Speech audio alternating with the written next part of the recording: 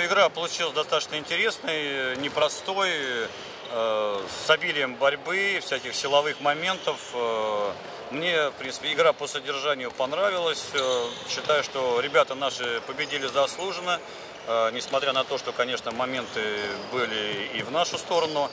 Вот. Ну, тем не менее, я считаю, что ребята достойны этой победы, хорошо настроились, мы готовились к этому матчу. Вот. Поэтому считаю, что все по делу.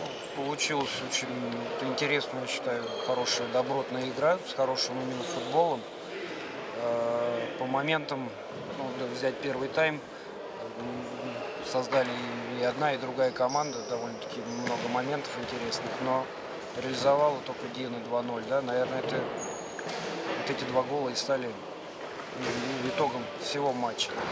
Вот. Но что могу сказать? Конечно, Дина очень интересно играет, не боится ни прессинга, ничего, контролирует мяч. Но мы тоже вроде старались играть э, в красивый такой быстрый футбол, но не реализовали, еще раз повторюсь, свои моменты, которых создали такие вот полумоменты, когда можно из одного паса выжить момент голевой.